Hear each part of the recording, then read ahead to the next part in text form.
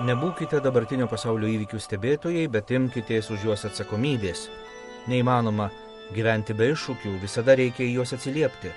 Tai popiežiaus pranciškaus raginimas Romos universitetų studentams, su kuriais jis Šventojo Petro bazilikoje šventė pirmojo advento sekmadienio pirmosius mišparus.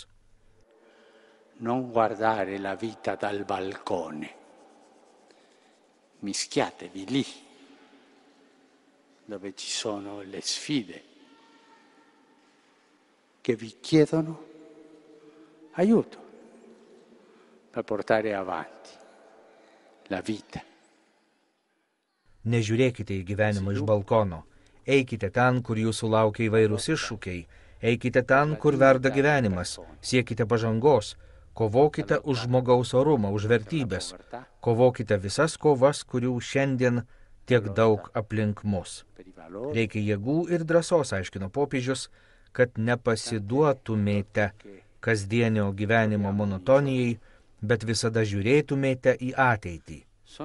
Neleiskite, kad iš jūsų atimtų jaunatvišką entuzijazmą. Nesutikite su silpno mąstymo pagunda.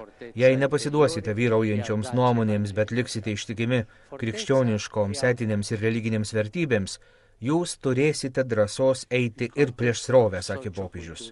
Liturgijos pabaigoje jaunimas iš Brazilijos perdavė prancūzų jaunimo grupiai jaunimo dienose Rio de Žaneire juos lydėjusią Marijos išminties sosto ikoną.